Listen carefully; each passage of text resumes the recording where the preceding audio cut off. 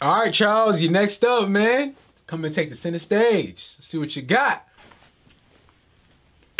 All right, Charles. Hey, look, that is one of your best works right there, man. That's one of your best works right there. Keep it up. All right, next up we have DJ. Come on, DJ. Time for you to take the stage now. So, I drew Sonic, one of my favorite characters ever. One of my favorite characters also. All right, DJ. Listen, you are getting better and better each class. Remember your first class? You was like, you know what? I can't even draw. Now look at you. You got a nice picture of Sonic. That that is fantastic. Keep it up, DJ. Keep it up. Lenarr, come on, man. Let's go. Let's go. Taking the center stage. Now let me see your work. Now this is something I drew from my imagination. It's like a like a little freestyle drawing. I think I did all right. I don't know.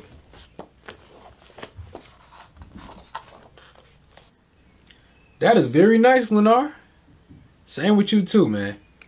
You are getting better and better each class. Keep it up.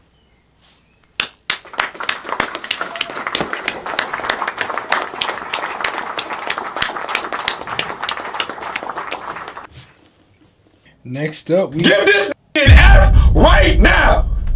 Give him an F right now.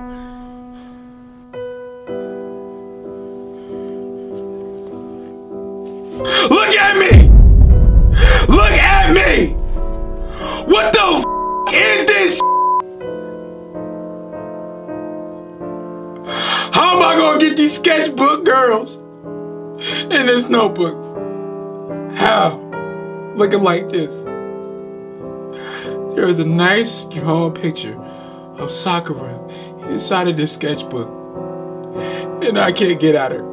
Cause I look like this. Give him an F right now. Give this man an F right now. well, you don't look that bad. Yes, the hell I do.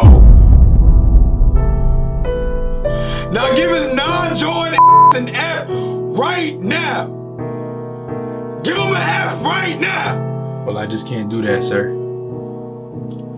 The grade is based on effort and not the actual, you know, talent of the student. So, you know, as a teacher, I respect you a lot. That is that is very thoughtful. But give him an F, please. Because there was no effort in this at all. Zero effort. You make me a new me, please. Right now. Make me a new me right now.